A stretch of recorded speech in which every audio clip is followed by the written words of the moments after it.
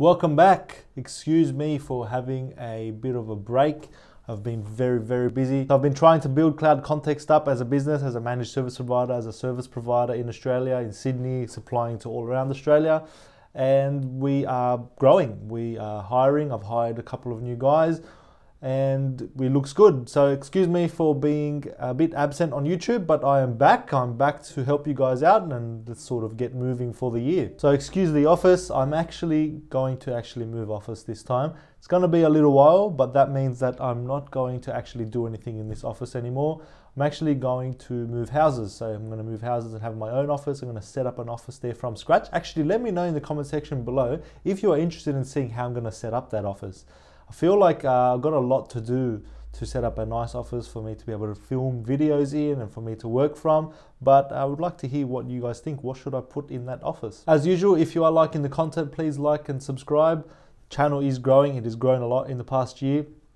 I appreciate everyone who likes the videos, everyone that subscribes. Thank you very much. If you haven't, please do so. So while I've been building the business, while I've been sitting there and growing the business and speaking to people and growing relationships and networking and just sort of branching out, I have probably missed a few things in Microsoft land. Once I did put that job ad out, I noticed that the certifications were very different from what I had seen in the past couple of years. So I sort of stopped and had a look at the Microsoft certifications and there is a lot of new stuff out there. So it looks to me like Microsoft have actually broken up a lot of exams. So they've realized that they're lumping a lot of content into one exam or into one certification. And when I say a lot of content, I mean a lot of different type of tech that looks like it's just been lumped into that one exam so that they could cover it all. But now it actually looks like they've broken it down. I've noticed that there is a lot more exams and certifications on things that were once upon a time contained in a different exam, which is awesome because that means that you can really focus on something. It also means that the job market is growing in those certain stacks. So today I thought maybe we'll go through some of those certifications, some of those exams,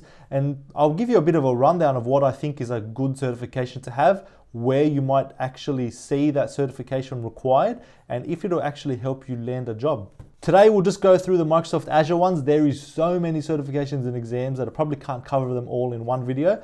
But if you want me to cover anything specifically or anything 365 related, let me know in the comment section below. I don't really want to make the video for nothing, so let me know if you do want me to actually cover those topics. So as probably most of you know, Microsoft released these certifications. So they'll have like a certification and then you'll need one or two exams to actually get that certification.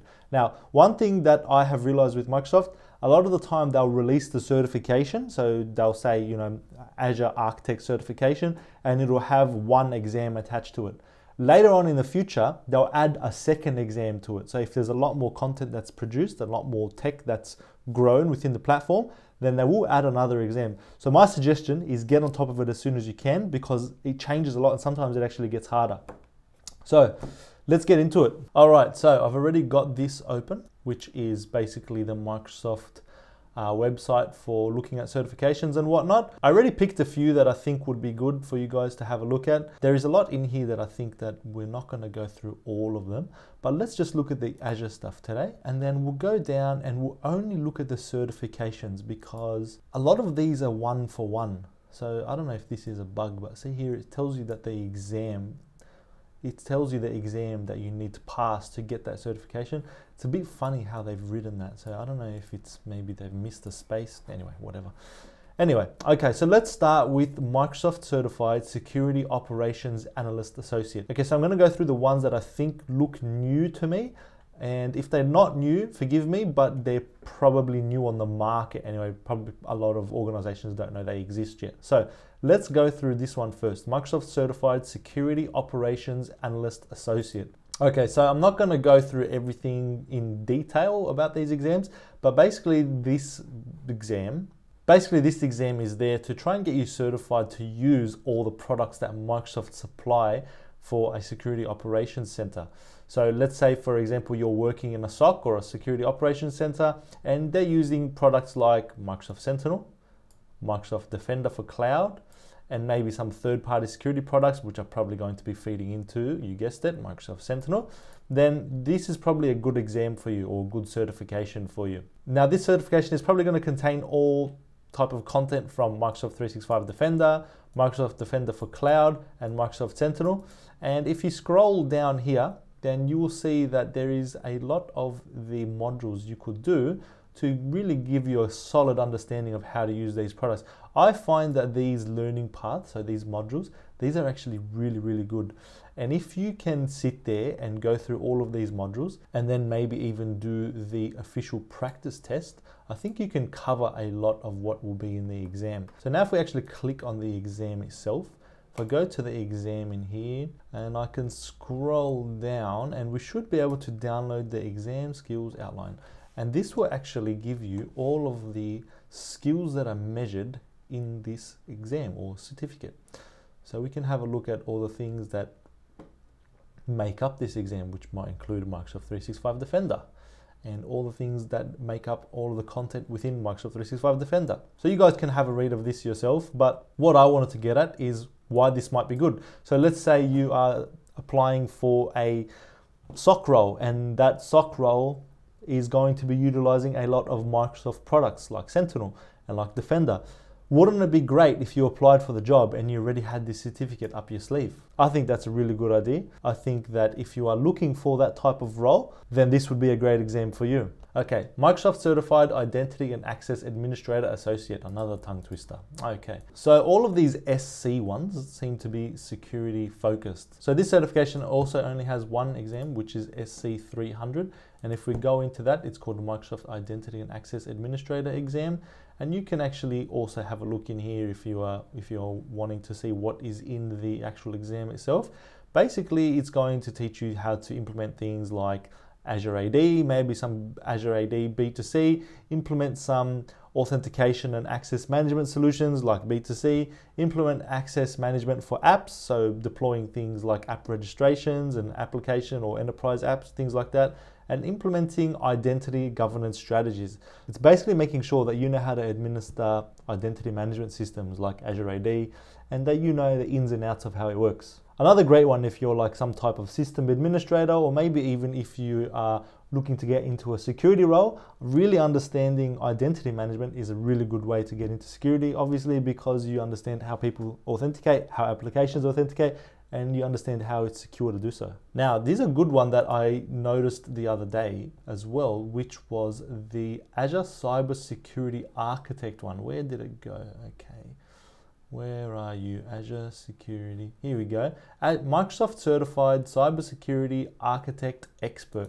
Uh, this is a really cool one. Actually, I'm going to do this one as well. So it looks like there is one of four prereqs for this. So you have the Security Operations Analyst Associate, you have the Identity and Access Administrator Associate, Azure Security Engineer Associate. I think I have that one, so it should be okay to apply for this one.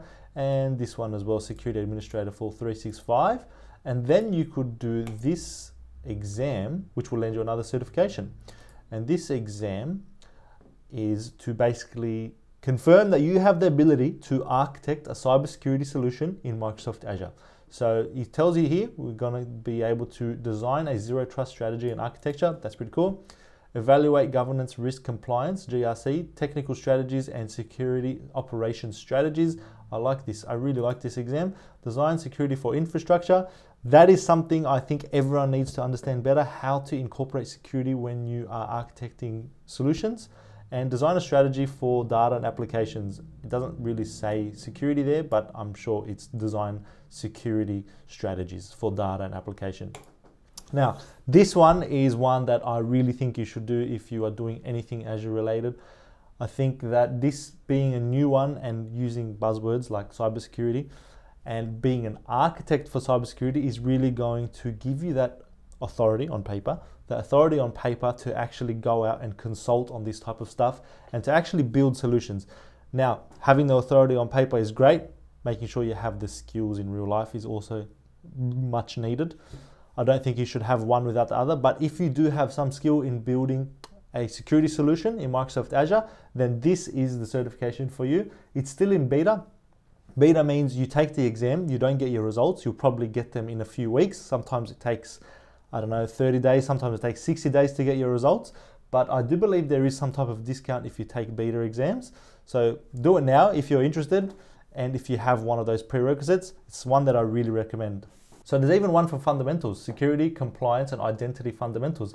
I think this is great for someone who maybe isn't on the tools, maybe isn't designing everything, but maybe they are a student or maybe they are even a business user or a, maybe a CIO or maybe a CEO that might be, have a strong interest in cybersecurity or that really wants to understand how to secure their Microsoft Azure solution better. I think doing something like the fundamentals is an awesome idea.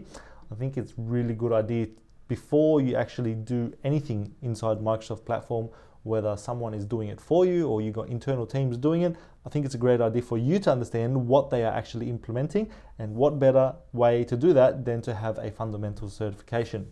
I think a lot of this certification will just be describing the capabilities, oh, here you go, describing the capabilities of Microsoft Identity and Access Management Solutions, describing capabilities of Microsoft Security Solutions, describing capabilities of Microsoft Compliance Solutions, and describing the concepts of security, compliance, and identity. I think that is a great idea because you're going to get a really good understanding of what those things are instead of them just being buzzwords. So if you are looking to deploy something, but you're not going to be the person deploying it, you're going to go out and maybe get a quote for someone else to do it, or your internal teams are going to do it, then this is excellent for you. So as you can see, all the certifications actually seem to be very security related, very cybersecurity related, and that is because cybersecurity is hot right now. Microsoft is doing everything they can to stay on top of the cybersecurity market, and it's a great idea for you as an individual, as an employee, as a company owner to actually be on top of it as well. So as usual, if you are liking the content, hit the like button, hit the subscribe button, and we'll see you next time.